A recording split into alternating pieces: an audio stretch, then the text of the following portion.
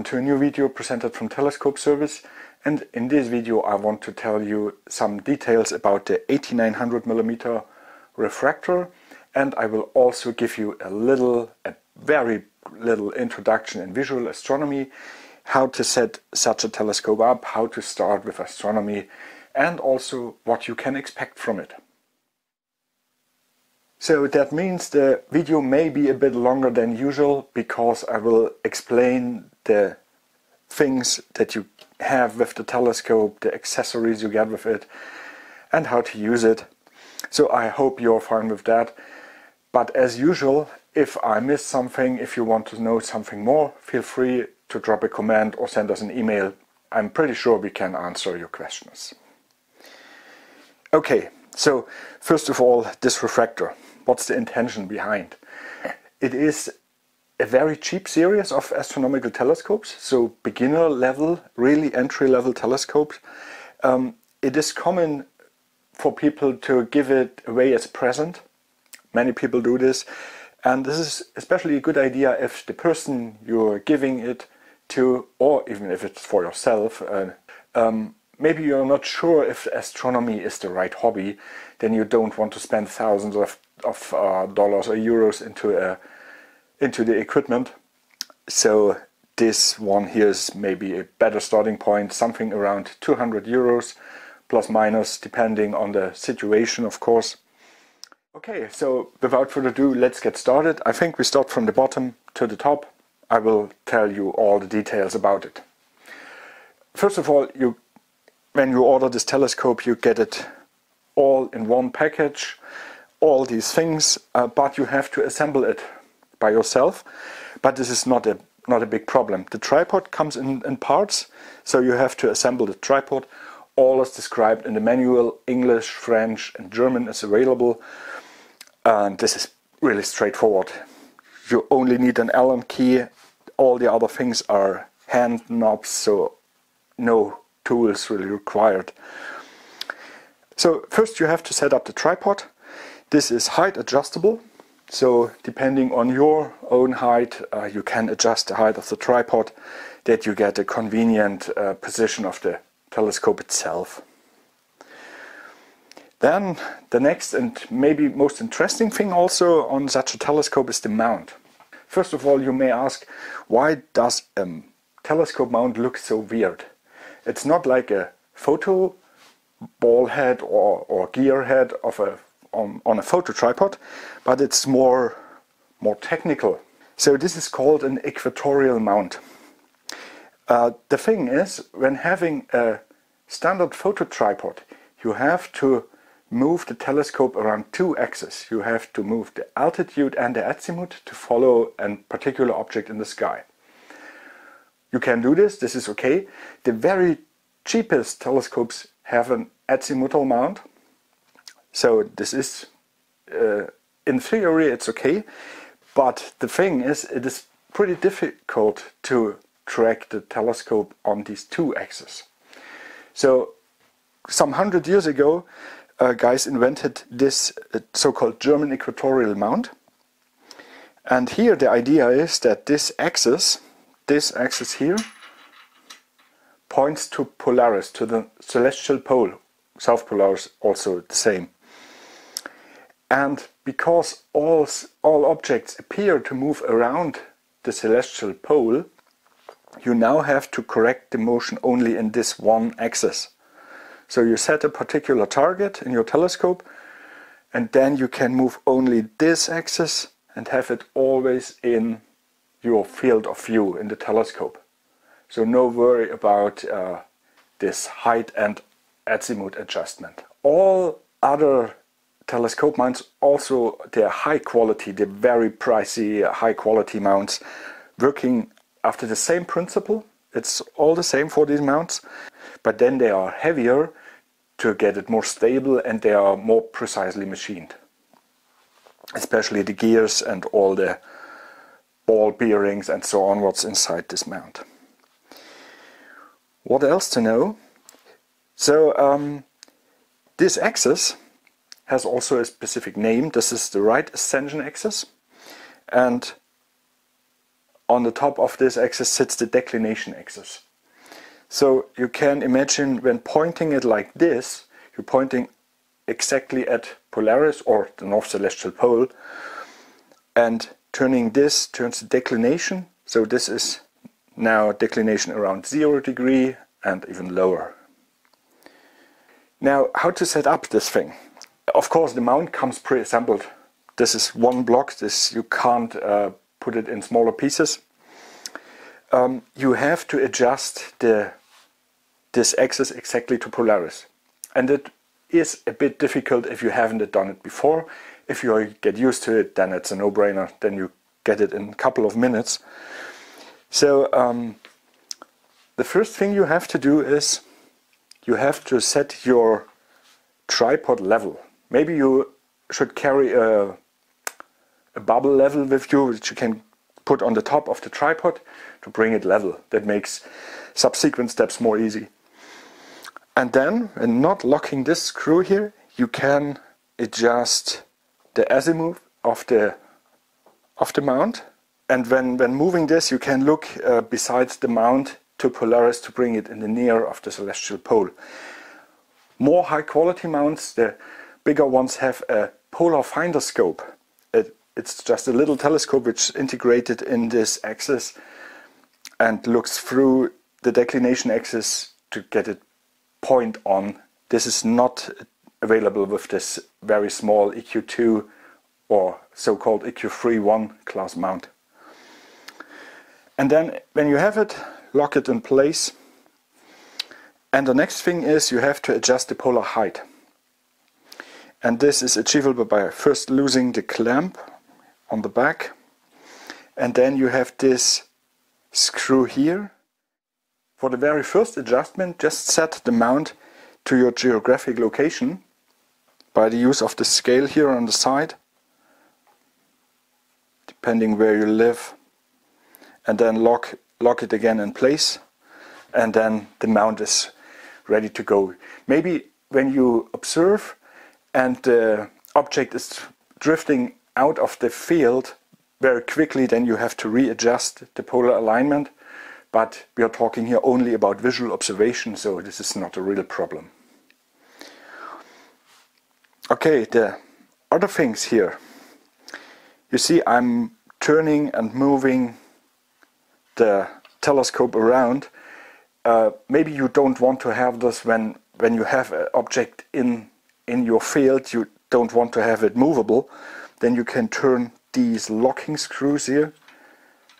These screws are just pressing a clutch inside that you can't that you can't move the mount anymore so freely. But it is still possible with these uh, axles here. There's also a knob integrated and here is a worm wheel integrated in, in the mount and that allows you to make very precise adjustments of the position of the telescope. Some way like this. And this is also, here's also the important knob.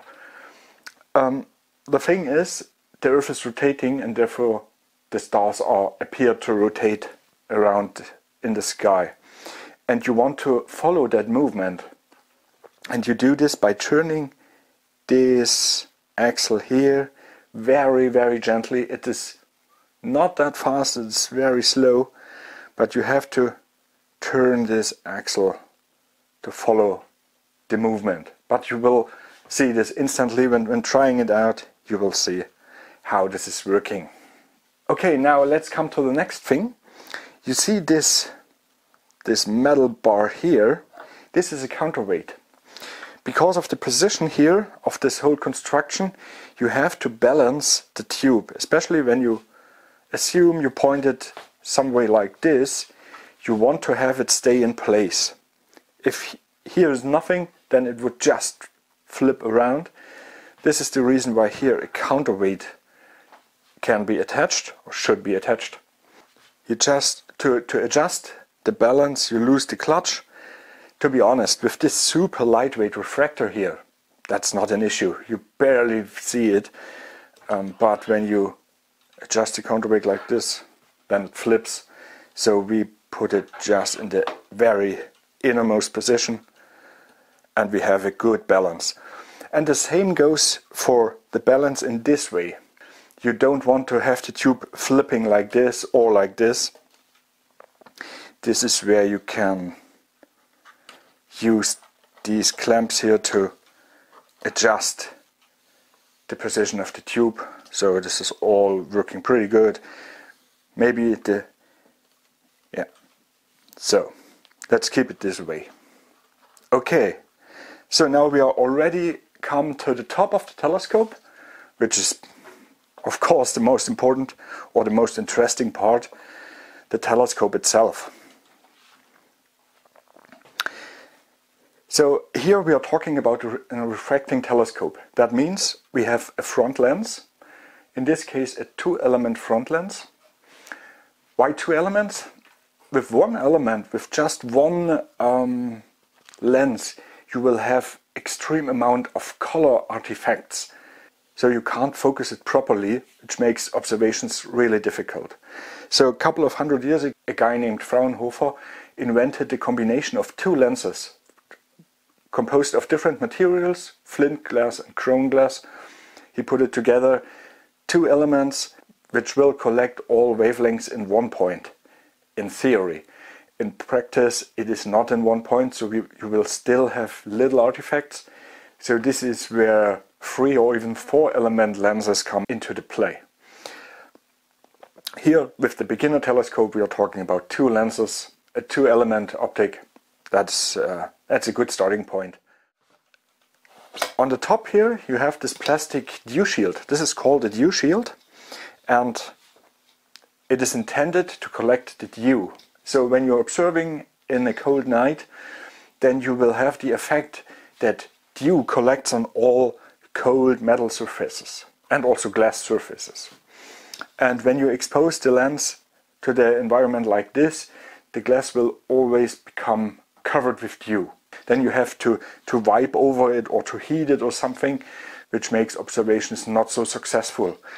And with this dew shield, you can reduce the effect of collecting the dew heavily because the dew is collected on the outside of this cap. This will help tremendously. You should always use the dew shield. Okay, now let's have a proper look on the back of the telescope. So for visual astronomy you need an eyepiece in the back of the telescope. This is just for projecting the image to have a convenient view into the telescope. And with this knob here you adjust the position of the eyepiece and this is for focusing. Depending on the distance of your object and on the used eyepiece you have to adjust the focus by turning this knob in or out and therefore moving the eyepiece in or out. So for example for a very near terrestrial subject on the horizon or somewhere you have to move it more out and for a stellar object in the sky you have to move it more in. You have here a long range of adjustment and this uh, focuser takes one and a quarter inch eyepieces so the very common standard. You can also exchange the uh, eyepieces that come with the telescope with different ones. Maybe you have already something or you can borrow eyepieces from somewhere because the eyepiece itself is also a very critical part in creating a good image. So the whole back here is made out of plastic. Everything except the axle here, but all these the tubes and so on is all plastic. So you can't load the focuser with too heavy load with very big eyepieces. I would not recommend this, so keep it at a very low weight here in the back. So with the telescope you will get three eyepieces, all Huygens design. That's why this H is marked here, Huygens design. A 20 millimeter eyepiece, which gives you 45 time magnification. A 12.5 millimeter eyepiece, which gives you 72 magnification and a 4mm eyepiece, very short one. This will result in 225 times magnification. Regarding magnification, that's always uh, a thing you uh, people ask about how big can the magnification be? Well, in theory, you can magnify as you want, but in practice, the magnification is very limited by the telescope itself. So for this particular telescope here, the maximum magnification you can try is something around 200 times. This is a practical value mostly and most of the time you will much lower magnifications because when magnifying 200 times you have always the, the field of view is very narrow. You can see only a very narrow field. This is good for example when you observe a planet or the surface of the moon then this is okay. But for all star fields or something it is super difficult to find your target to hold it in place and to see something because the image will also get darker. So when starting with observing especially uh, star fields, star clusters, you will most of the time use the 20 millimeter eyepiece. And this is just screwed in here and then you can look through. But now you see already, maybe you see a problem, especially when pointing to a target somewhere high in the sky that makes the observation very problematic. This is where the next accessory is used. This one. This is a Zenit mirror.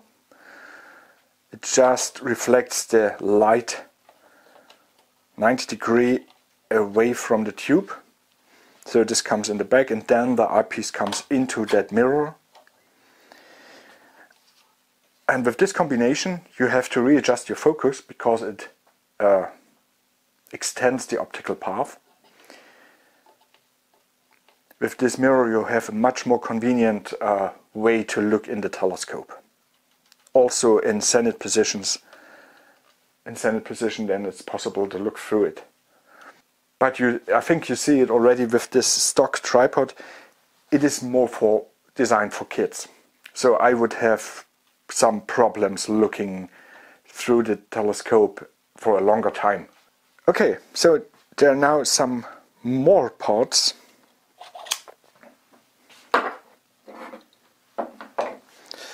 The next one is this long tube here. This is called a Barlow lens. The Barlow lens comes also in the back of the telescope and what this does is it increases the focal length of the telescope by factor 3 for this particular Barlow lens. That means you will get 2700 millimeters focal length and therefore with the three eyepieces you get three different magnifications which is pretty cool but especially for the 12.5 millimeter and the 4 millimeter eyepiece it's nearly useless unfortunately.